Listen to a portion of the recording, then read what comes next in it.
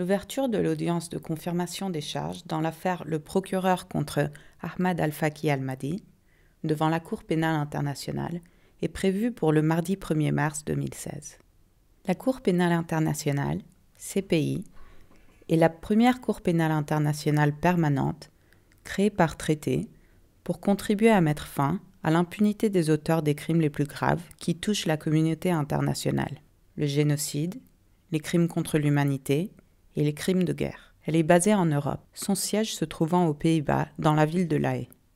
À ce jour, le bureau du procureur mène des enquêtes dans neuf pays différents l'Ouganda, la République démocratique du Congo, la République centrafricaine, le Soudan, le Kenya, la Libye, la Côte d'Ivoire, la Géorgie et le Mali.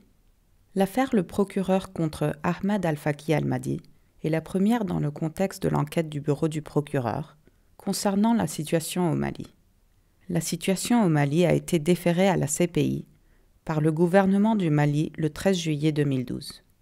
Le 16 janvier 2013, le procureur de la CPI a ouvert une enquête sur les crimes présumés commis sur le territoire du Mali depuis janvier 2012.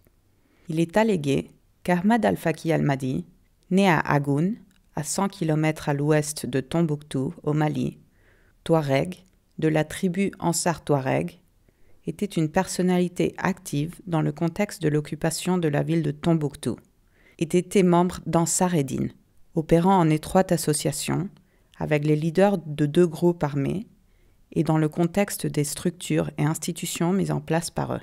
Il aurait été notamment, jusqu'en septembre 2012, à la tête de la Hezba, Brigade des Mœurs, opérationnelle à partir de mai 2012, et également associé au travail du tribunal islamique de Tombouctou, et aurait participé à l'exécution de ses décisions.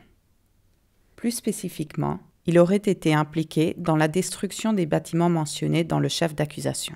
La Chambre a conclu que les preuves présentées par le procureur donnent des motifs raisonnables de croire que M. Al-Faki est pénalement responsable pour avoir commis individuellement et conjointement avec d'autres personnes, facilité ou autrement contribué à la commission, les crimes de guerre allégués par le procureur, concernant des attaques dirigées intentionnellement contre des monuments historiques et bâtiments consacrés à la religion, dont neuf mausolées et une mosquée à Tombouctou, au Mali.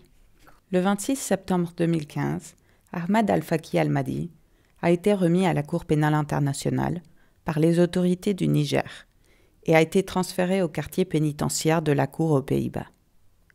Le 30 septembre 2015, M. Al-Faki a comparu devant le juge unique de la Chambre préliminaire 1, M. le juge Kuno Tarfusser, en présence de l'accusation et de la défense.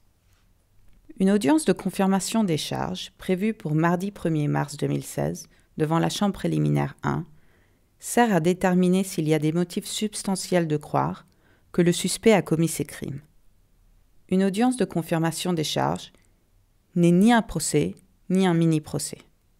Il s'agit d'une audience publique à la suite de laquelle la Chambre préliminaire de la CPI décide de confirmer ou non, partiellement ou dans leur totalité, les charges retenues par le procureur à l'encontre du suspect, et de renvoyer l'affaire, le cas échéant, en procès devant la Chambre de première instance. La Chambre préliminaire 1 est composée des juges Joyce Alwatch, juge présidente, juge Kuno Tarfusser et juge Peter Kovacs. L'audience de confirmation des charges se tient habituellement en présence du procureur, du suspect et de son conseil de défense. Si les charges sont confirmées, l'affaire sera envoyée devant une chambre de première instance, également composée de trois juges. Le cas échéant, les juges consulteraient alors le bureau du procureur et la défense, et adopteraient toute procédure utile à la conduite équitable et diligente de l'instance.